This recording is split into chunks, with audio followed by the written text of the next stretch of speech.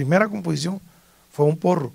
Y a mucha gente le extrañó que después, en el año 91, con Juan Carlos Coronel, otro gran amigo. Sin duda. eh, Cartagenero. Con, cartagenero. eh, eh, con Juan Carlos Coronel ocupamos, Colombia ocupó un segundo lugar en el Festival OTI en Acapulco, en México, con una balada de mi autoría, una balada que le hice a mi segundo hijo cuando nació. Entonces, ¿Cómo llama? eh, consejos, canción a mi hijo, así se llama. Consejos, guion. ¿Esa fue la primera vez que estuvo en la OTL? Sí, la primera vez que estuvo Juan Carlos. en Claro, la- claro. Segundo lugar Sí, sí, sí, Colombia. recuerdo ese segundo lugar. En- Eso fue para los finales de los 80. no, 91, año 91. Ah, bueno, fíjese que no es mucho la diferencia. Bueno, entonces, eh, sí, Juan Carlos eh, eh, también es de ese grupo. De hecho, Juan Carlos, Freddy, Dieguito, eh, o sea, esa es una relación que ha permanecido muy fuerte.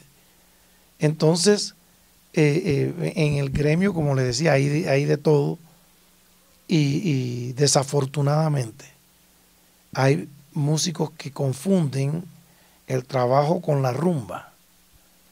Entonces, mi papá era médico, aunque no pudo ejercer por, porque en la época de la violencia le desaparecieron su papel. Bueno, eso es otra historia. Entonces, él me decía, este, él siempre me dijo, Conra, Conra, si tú vas a ser músico, porque yo pasé en la Universidad de Cartagena en medicina, dice, si te gusta la música, estudia música. O si quieres ser médico, estudia medicina, pero no vas a poder estudiar las dos cosas al mismo tiempo, porque vas a ser un músico regular y un médico regular. Entonces, dedícate a una sola cosa. Y cuando yo vine a Bogotá, yo vine a experimentar a ver cómo me iba, y si no me iba bien, yo me regresaba a Cartagena a estudiar medicina. Pero la cosa resultó tan bien que aquí me tiene 40 años después. Muy bien. Bueno, y resumiendo ya para la parte final de esta entrevista, que es muy interesante naturalmente, y que aquí nos quedaríamos horas, no solamente hablando de la vida personal del señor Conrado Marrugo, sino también con aquellos con los cuales tuvo que hacer cantidad de producciones musicales y que son tan importantes para nuestra música colombiana, especial la música tropical, que en la, en la cual usted se ha defendido espectacularmente. Entonces, resumiendo, ¿en qué otras agrupaciones estuvo?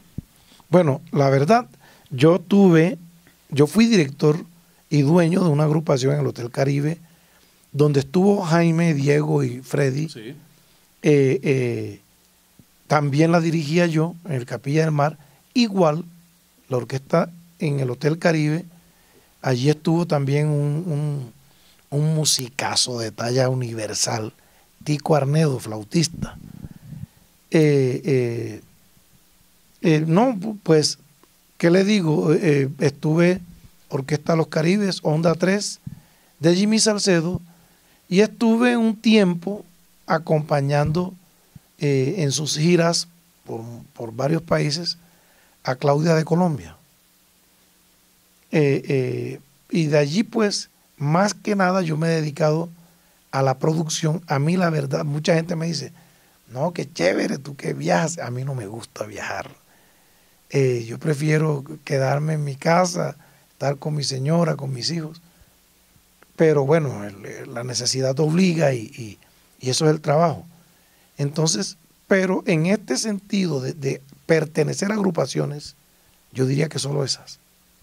Nunca estuve en otra. Hubo una intentona, Joe Arroyo quiso llevarme a formar parte de su, de su orquesta, pero la verdad, para mí era más importante en ese momento quedarme en Cartagena y, y, y, y, seguir con mi agrupación en el Hotel Hilton. Con Joe también hice una gran, una gran amistad, enorme, y, él me dijo en una ocasión, Conrado, a la única persona que yo le he grabado tres temas en una sola producción es a ti. Y yo me puse a mirar la discografía de él y realmente era así. ¿Qué canciones? Eh, él, eh, yo le hice un tema. Yo, yo Arroyo estaba muy preocupado por la baja en las ventas. Entonces le decía, yo no eres tú. Él, él, tenía ese problema, o sea, era, era muy sensible yo. Entonces me dice, que él estaba muy preocupado porque no estaba vendiendo discos. Digo, no, no eres tú. Hoy día una persona compra un disco, lo sube en YouTube y al día siguiente hay 50 mil copias gratis bajadas. Entonces esas 50 mil personas ya no van a comprar tu disco. Es el mercado del disco el que está dañado, no es yo Arroyo. Pero él insistía, preocupado, lógicamente. Y yo le dije, bueno, yo me haga, ¿por qué no pruebas una cosa? porque no haces música como cuando te hiciste confundido, cuando hiciste Tania, cuando hiciste... Y me dice, no, Conra, yo, yo no sé, ya yo no produzco así. Yo he tratado, pero no creo. Te dejo esa tarea. Hablamos ese día de Tania, la hija de él, eh, que dos años después murió Tania de una afección pulmonar. Pero él me dijo, no, yo, hombre, yo tengo eh, mucho, mucho dolor de no poder estar con Tania. Tania. Si tú la ves por allí, dile a Tania que yo la quiero, que me llame. Y este tema que yo le hice fue basado en esa conversación. Entonces, la verdad, yo hice el tema, escribí la letra, escribí el guion melódico para mostrárselo a él. Y yo arriba le puse Tania y el número romano 2. Tania 2. Entonces, pensando en 1993. Exacto, o sea, esperando que él, yo le dije, no, bautiza, le dice, no, así te salió, así se queda. Y se quedó Tania 2. Tania 2. Si tú sabes de Tania, te pido un favor. Dile que su partida me dejó un dolor, que la vivo soñando, que la estoy extrañando, que mi pecho he guardado intacto aquel amor. Ese tema bueno, bien bonita la canción. Yo se lo canté y se la guardo. Porque yo, entre otras cosas, quienes conocen a Joe, quienes lo conocieron, saben que Joe era muy llorón. Joe se emocionaba y, lloraba enseguida. Entonces, eh, le mostré ese tema. Cuando ya se lo mostré, me dijo, eh, ¿y no tienes otro por ahí? Digo, sí, pues tengo otro tema, pero no sé si, da tu, si sea de tu onda. Cántalo para ver. Se llama Revelación 1614 basado en el libro de Revelación o Apocalipsis, capítulo 16, versículo 14, donde dice que los reyes de la tierra, eh, llegaría un momento en que los reyes de la tierra se juntarían para hacer la guerra contra Dios. Así dice. Entonces, eh, el tema comienza diciendo, los reyes de la tierra son dueños de la guerra, del llanto y del dolor. Es un guaguancó. Son hombres poderosos que tienen moza y mozo y no tienen amor. Eh, eh, es, más o menos lo que. Amigos de varios senadores, quitan y ponen gobernadores cuando no se ajustan a sus fines ni dan de los botines que deben repartir. A Joel le pareció muy llamativo y allí estaba Ernesto Macaula en ese momento. Y Ernesto le dijo, Joe, si tú no coges ese tema, Conrado me lo da a mí que se lo llevo a Rubén Blades. Entonces, yo no, ¿cómo así? Que, déjate de eso, que yo lo voy a grabar. Ya tenemos esos dos temas y una semana, diez días después, yo vivía en Cartagena, yo en Barranquilla, él me mandaba un carro que me fuera a buscar a Cartagena, que era una cosa innecesaria, pero él lo hacía como por, por, delicadeza, ¿no? Yo era un tipo muy atento. Entonces, yo le decía, yo, es más fácil que yo coja un termoquín y me vaya para Barranquilla para para que el carro venga vacío de Barranquilla a Cartagena. No, mi hermanito, espera lo que él va a recogerte. Entonces me fui y me dice, oye, Conra, ¿qué otro tema tienes por ahí? Y yo le digo, bueno, ¿cuál de los dos anteriores vas a sacar? me dice, no, ninguno. Los dos van. Pero ¿qué otro tema?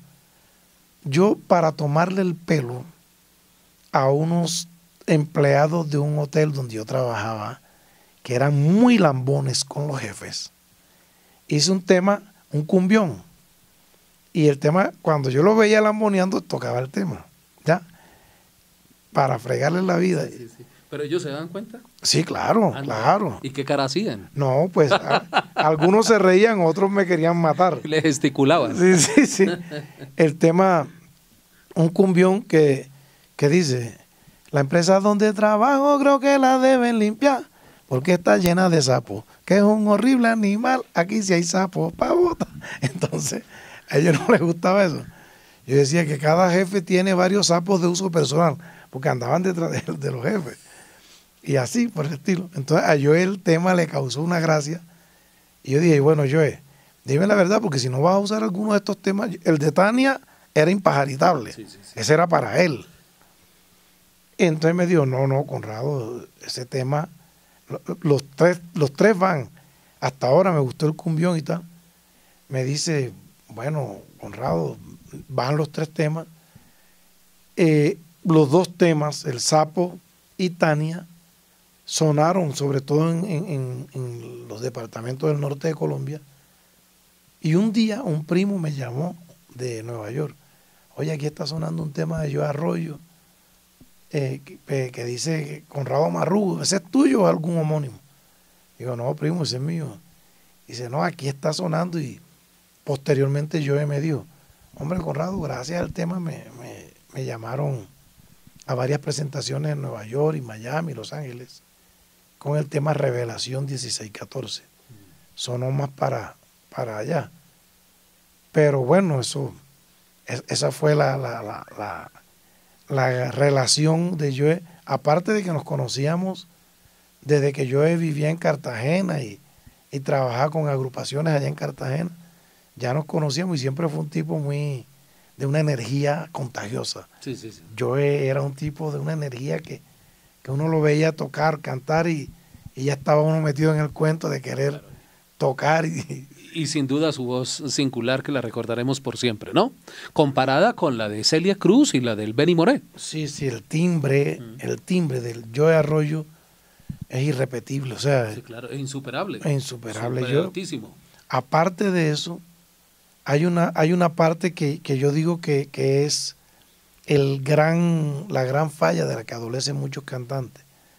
Y es que, por ejemplo, una frase con una melodía que dice, yo te amo mucho, usted se la ponía a hacer a 10 cantantes, la misma frase, la misma melodía, y se la ponía a hacer a Joe Arroyo, y él sin cambiar las notas y sin cambiar la letra, le ponía un algo que lo hacía pegajoso.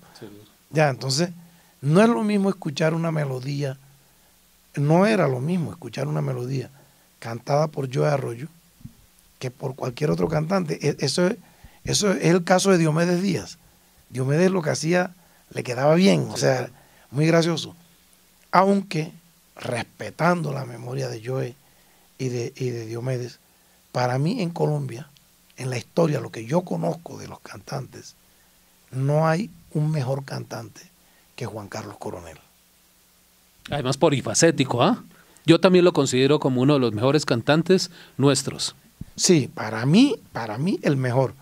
Juan Carlos igual canta un cumbión, una salsa, una balada, una ópera, lo que usted le ponga.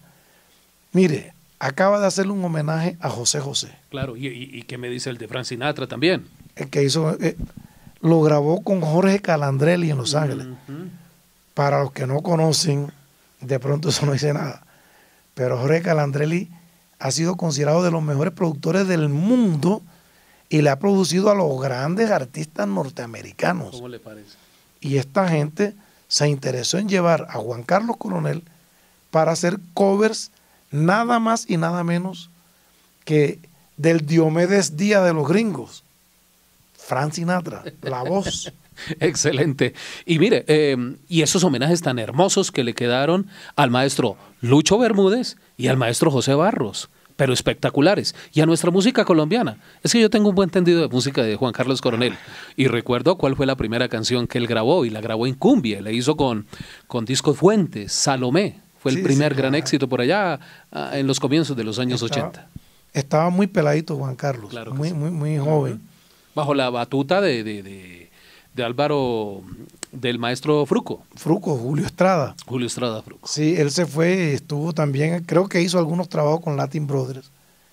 Eh, eh, Juan Carlos desde niño mostró su, su, talento. Es más, yo tuve que sacar un permiso especial para que lo dejaran trabajar de noche porque era menor de edad. Ah, fue usted entonces. sí, porque él dijo que era menor de edad, tendría pues 15, 16 años. Sí, no, 14 años, 13 años.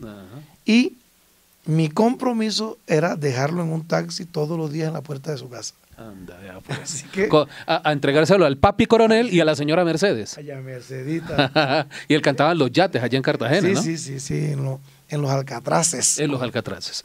No, pues espectacular la historia que nos ha contado. No solamente, no le dije que si nos adentrábamos a hablar de músicos, de cantantes, la cosa iba a ser más larga. Sí, sí, así es. Muchas gracias, señor Marruco. Muy amable por estar gusto. con nosotros. Y aquí en los estudios de Psycho y en Psycho a la orden siempre, yo. Claro que sí, con todo cariño.